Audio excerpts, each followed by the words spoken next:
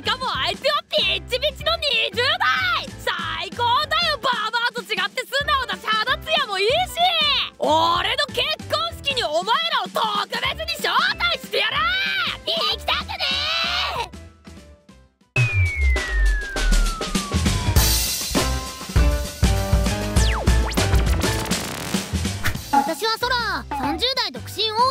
これは会社の同僚のお話。ねえねえ聞いたソラちゃん。小耳に挟んだんだけどてつさん結婚するらしいよ。えー、嘘！相手はどんな人なの？それが20代の若い子らしいよ。えー、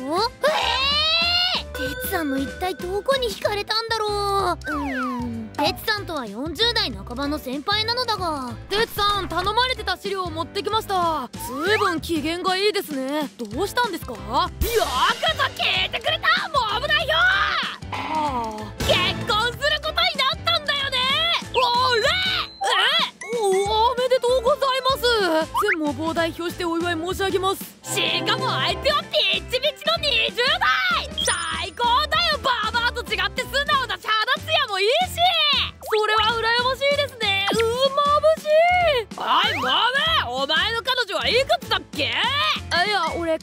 ないですが。うわ悪い悪い俺としたことが。お前に彼女いるわけねえよな。クマを失礼うわ。うわ早速調子乗ってるね。うん。絡まれてかわいそうにモブロー君。正確に少々難ありで社員からいい感じに距離を置かれている。モブロー君に偉そうに言ってるけど自分だっていつぶりの彼女 ?15 年はいないって言ってた気がするわ。ほん。で挙式はいつなの？それが再来月らしいよ。キュー！どうやら敵婚らしいのよ。なるほど。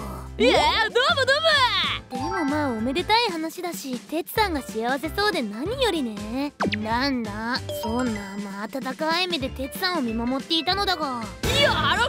生き遅れ調子ども。お前らに朗報だえ？生き遅れ女子って。何なんですか唐突に。うわあれあれ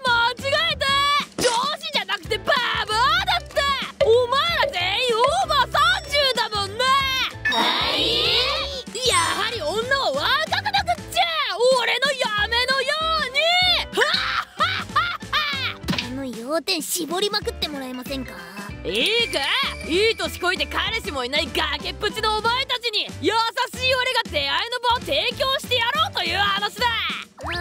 あ世の中物好きも一定数いる。数打てばいつか当たるから諦めるつまり？な俺の結婚式にお前らを特別に招待してやる。不参加は認めん。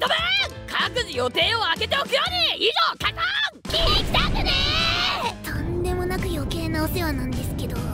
でもあながち否定できない自分にも腹立つわ。ねえソラちゃん結婚式行かない？くるみちゃんそのご自慢のお嫁さんとやら見に行きましょうよ。ということで私たちは結婚式に出ることに。悔しいけどかなり可愛いわ。なんで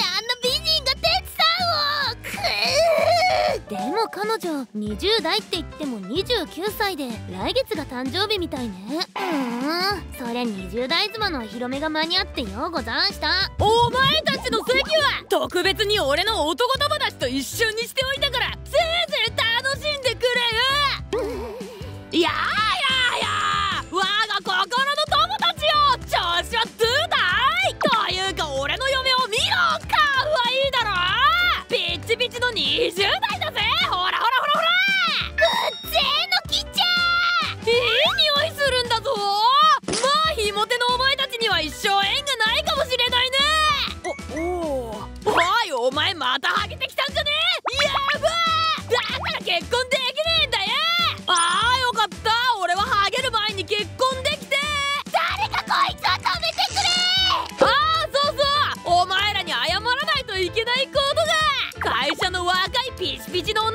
同じ席にしてやるって言ったけどこいつらとっくにみそじ超えてんだわ。騙してごめん。あでも見りゃわかるか。ギラギラギラギラギラ。はあ？でも実際顔はそんなに悪くないだろお前たちのようなモテないブサメンなら願ったり叶ったりじゃないか。超最低。失礼すぎでしょ。こんなの友達でも何でもないじゃん。ただマウントが取りたくて呼んだだけなんじゃないの？ソラちゃん私限界。んステイ!いたたたたたた腹が急に!は?あおい大丈夫か?鉄悪いけど大丈夫じゃなさそう。俺帰らせてもらうわ。えサメさんおめでとう綺麗ですねお幸せに。それじゃえだだだだ俺も腹が急に!うわは?あお前もかよ!俺も俺も拙者も気分を害した哲さんの友人たちは体調不良を訴え次々と退席。おいお前ら冗談だろ。戻れよ。ちょっと哲。どうしたんだよあれ。急にお腹痛いって。食中毒？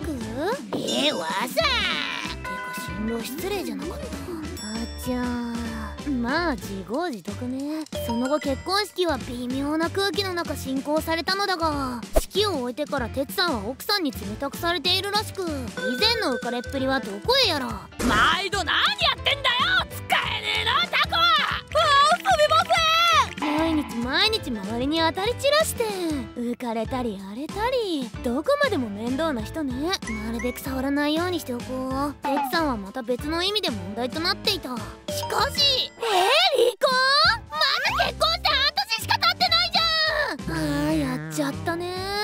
ぱりあの結婚式が効いたか。いやそうじゃなくてね。え？妊娠中に結婚前の奥さんの浮気が発覚したらしいの。マジか。じゃあそれが原因で？いやそれが念のために生まれてきた子供の DNA 鑑定したらしいんだけど。うむ結局その子その浮気相手でも哲さんの子でもなくてまた別の男の子供だったみたい。